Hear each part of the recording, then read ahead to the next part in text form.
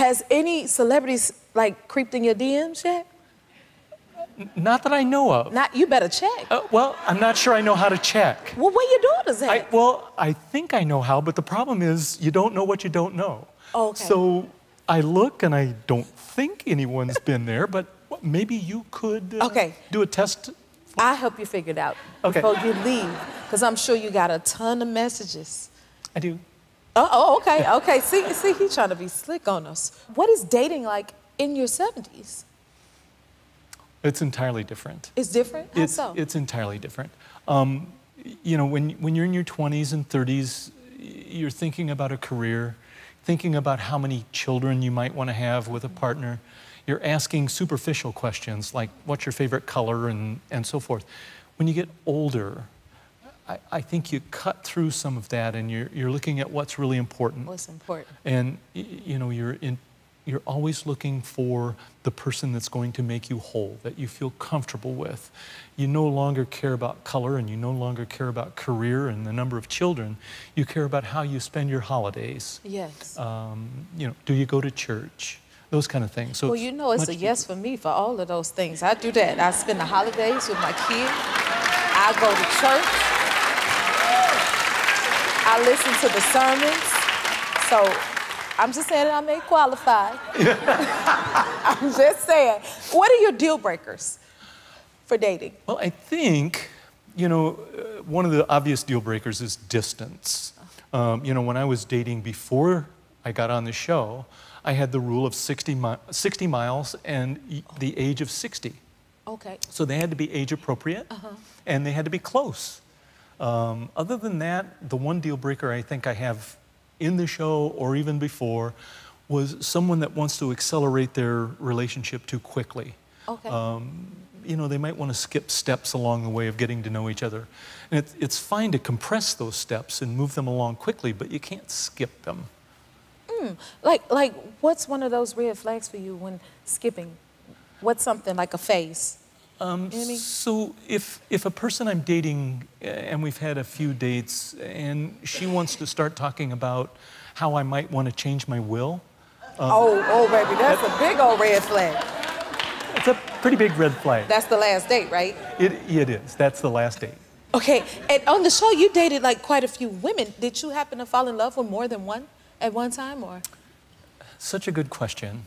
You know, when you're in the moment with someone and uh, you get caught up in the excitement and the glamour and the energy Yes. of what's going on, uh, you feel like you're in love with someone. You might even say the words. And then when you get away from all the energy that was surrounding that moment and you peel it back, you realize that, yeah, that woman was wonderful, but she wasn't the right woman for you, and when you said or thought that you loved her, it probably wasn't genuine. Okay, It's difficult. it is. Listen, okay, so this is what I really want to hear from you. What advice do you have for people looking for a partner? I had a very good friend in high school and, and also in grade school. We played Little League together and we played high school basketball together. His wife passed away about six months before my wife did. His wife passed in December of 2016. And I heard from him yesterday on a direct message. And he goes, Gary, he goes, all these years I've not dated anyone.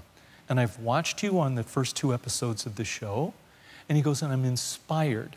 And with your emoting hope and a little bit of luck, I'm now dating someone. Aw, And it's like, that, you're changing lives and perspectives. that's what this is for. It's what it's about. Yes, you, you want to give people the confidence to not just hope, but to find heart and to find humor and enjoy their lives and find that person.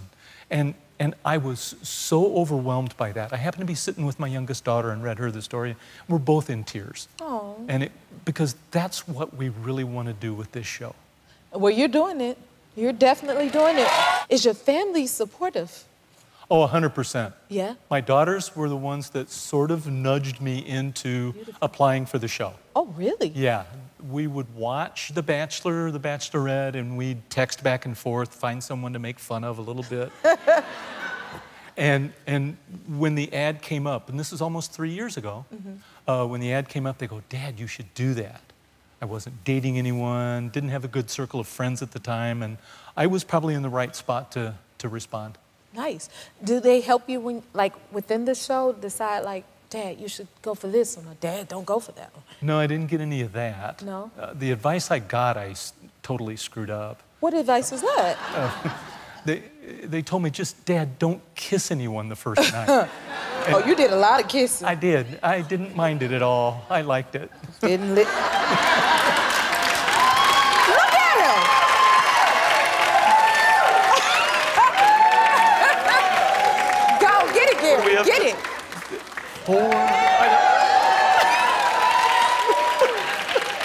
Look at you. you was out there living your best life, huh? uh, yes, it is. It's pretty good. Having a good, good. You deserve to have a good time. How old are your granddaughters? My granddaughters are 21 and 16. Uh, 21 and 16. Yeah. Okay, so they're the Gen Z, like generation. So do they teach you the Gen Z terms? You know, they've tried. I'm, I I'm a little confused too. I'm not good at it. Okay. They, they, they'll throw out a term and they'll give me a non-specific definition because they're a little embarrassed, I think, at times to, you know, be really on point with it. And so I've picked up some, but not a lot. Not a lot. Well, I'm not too far behind. So, but I want to play a game. Can we see how much we know together? Sure. Cause I, I got a, I got my little bowl over here with some Gen Z terms in it. Y'all gonna help us figure it out too? Cause your, your grandbabies is 16 and 21. Yeah. Okay, I got a 14 year old and I don't be knowing nothing. Nothing they be talking about. Like, what? Where that come from? So we can help each other. Calling it Gen Z terms with the Golden Bachelor. Y'all, here we go. Our first one is Rizz. Rizz. That, Who is that? that might be one of the few that I actually know. You know this one? Because I don't. I do. My, my youngest granddaughter used that term very early on in my process. Okay. And she goes, Dad, or Granddad, you got to develop some rizz. And it's short for charisma. You got to have. Okay. You're good. What's this? You see this? You see it? Yeah, yeah. Charisma. Okay. All right. Let's see. Let's get another one. Hold the line. okay. What about drip? Nope. Nope. Y'all got that one? You don't know that one, Gary? I don't know that one. drip. Drip. I feel like you know you got the drip, like, like jewelry or swag or that vibe. You know, you got that drip. You know. Oh, okay. Yeah, it's more of expression. You, you know what I mean. Just got some Come on. style. See, that's why I have to go Yeah. to my kid, my son. Oh, oh, you got this. Hits different. You ever heard that one? Nope, got no clue. You don't know what that is? Uh-uh. Do y'all know what that is? Yeah. Like, like it hit different. You know, I don't know how to describe it, but like, super dope. Super like, okay, I like that. Or like, you know, it may hit you one way, but man, that hit different this way. You, you get it? You apply it to how Ah, you want to say it. how different people feel. Yeah, like yo fine, yo fine, Gary, hit way different than them 21 year olds. Okay.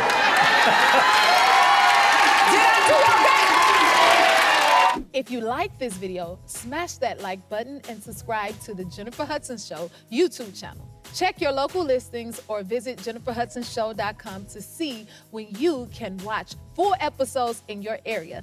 And don't forget to sign up for the newsletter.